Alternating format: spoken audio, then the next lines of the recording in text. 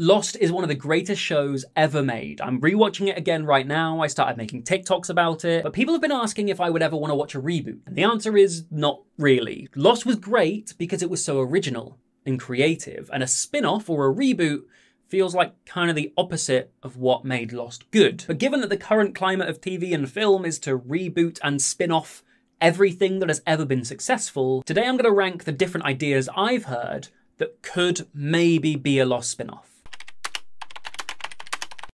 So a Dharma Initiative spin-off is one of the most popular ideas I've seen floating around that follows the scientists through the 20 or 30 years that they were on the island. Because there's still a lot we don't know about them. We know top-line stuff, but not really the nitty gritty, right? Now, it would be hard to do this show because of all the time traveling lost stars. Like, you would definitely need some cameos in there. And this far out from Lost finishing, that's going to be hard to arrange. But outside of the time traveling Lost Stars, there is the aspect of interactions between Dharma and the natives on the island, who we later come to call the others. But again, you'd need Richard in that. This idea could also let us explore the off-island branches of Dharma, like the lamppost and the warehouse that ships the supplies to the hatch. We could also find out all about the shareholders who fund the Dharma Initiative, any board members, if there's like deeper political goings on with the scientists. Plus there's Dharma's links to the Valenzetti equation, which uses the famous numbers to figure out when humanity goes extinct. Then there's Dharma's attempts to uncover ways to travel through space and time. Like, how do they even know about those things? So the show itself, it would be interesting. There would be plenty to sink your teeth into. But with that said, season five of Lost, with all the time jumps, kind of gave us all the big moments from the Dharma Initiative anyway. We saw the incident, we saw the purge. Like a lot of the plot twists and potential season finales are kind of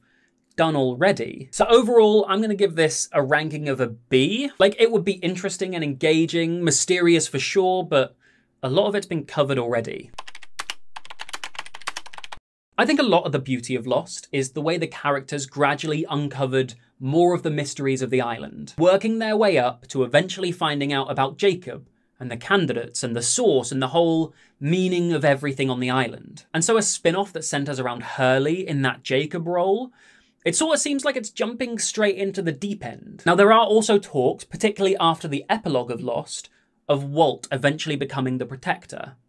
Would I like a series on that? I kind of feel the same way about it, right? You're just jumping in at the deep end without any of the mystery or the build-up. However, if Hurley brought Walt to the island to be his successor, but Walt instead became the equivalent of the man in black, would I want a show about their conflict? Maybe a short limited series of like six episodes or so? Like Walt wants to save his father who wasn't in the church at the last Flash Sideways scene because he was damned to be one of the souls stuck whispering on the island. And in trying to save his father, he's corrupted or has to go into the source and so he becomes the smoke monster much like the man in black did. I still, I still don't really want it, but it would scratch an itch of more lost content. So look, I'll go B tier again, and look, hopefully not everything in this video just ends up in the B tier. So the Egyptians on the island are probably the thing we learn the least about in the show. Like there are hints, right? There are tapestries and hieroglyphics and monuments. But overall, we know very little that happened to the Egyptians while they were on the island. In fact, there are already debates among Lost fans about whether the Egyptians came before or after Mother raised Jacob and the Man in Black. And I always prefer largely independent ideas for spin-offs rather than something that gets too close to the original story because it could ruin it or taint it. And like, I love Lost because I think it's almost perfect. And so a story that runs too close to the story we got in the main show could taint it. It could change things, it could retcon them, it could ruin them. But the story of the Egyptians feels quite separate from the events of Lost, so it sort of makes it perfect for its own self-contained story. How the Egyptians come to the island, how they discover the island's powers, how they build the temple and the lighthouse. There's depictions on the wall of the temple of seemingly Anubis, the god of the dead, interacting with the smoke monster, who happens to be able to take on the form of the dead as one of his powers. So there's a whole story about the man in black conning the Egyptians into thinking he's the god of death or the god of the dead. Plus, Jacob seems fond of the Egyptians. He weaves tapestries and Lost with Egyptian symbolism on it. He moves into the foot of the statue. So of all of the spin-off ideas, I think this is my favorite. There is a chance it's just repetitive of the story of Lost, just with Egyptians instead of 21st century plane crash survivors. But as spin-offs go, I don't think there are many better options. So for the Egyptians, we're going to go in the A tier. I'm not going to go in God tier because I, I don't want a spin-off. Okay, nothing is going to be God tier, otherwise I'd want it. I just, I want them to leave Lost alone. But if we had to have one, the Egyptians is not a bad option.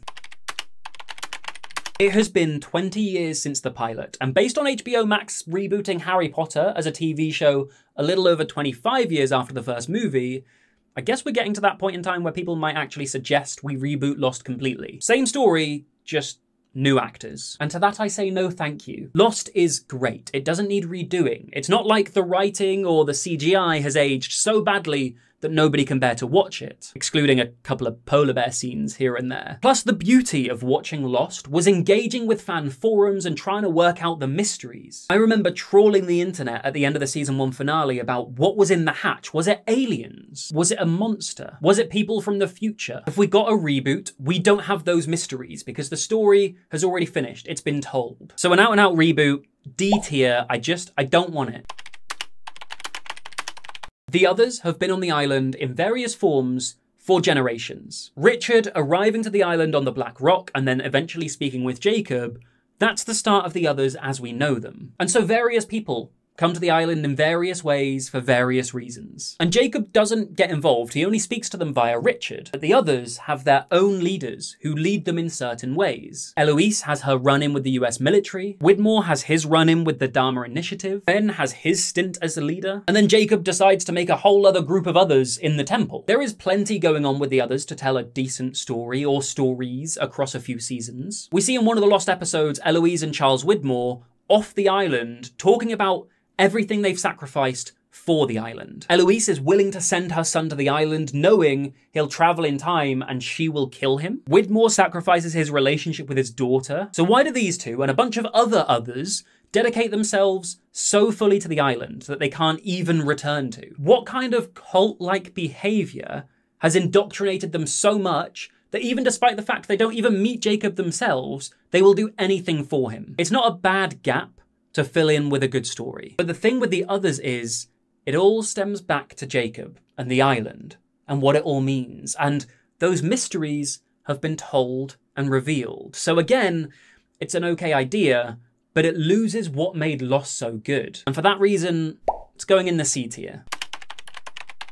Similar to the Egyptian idea, we have Mother, who eventually raised Jacob and the Man in Black, and those two brothers brought about the events of Lost. But we know very little about Mother. We don't know who she is, really, how she got there, how long she was there for, where she's from before the island, if anywhere. Also, there's a theory going around that she was both the island's protector like Jacob, and the smoke monster like the man in black, at the same time. I wouldn't hate that as a concept to build a story around for a show. So there are some estimations out there that suggest Jacob and the Man in Black's birth mother was a Roman who had ended up on the island with some other Romans. So Mother could have been a Roman, or she could predate the Romans. She could have been there for years. And how does she know so much about the island and the source? Who taught her about it? Or is she the first protector herself? If the light is all about giving life, could Mother be Mother Nature? It's a compelling starting point to build a show around. So I would give this an A tier. Again, not God tier because I don't want any spin-offs,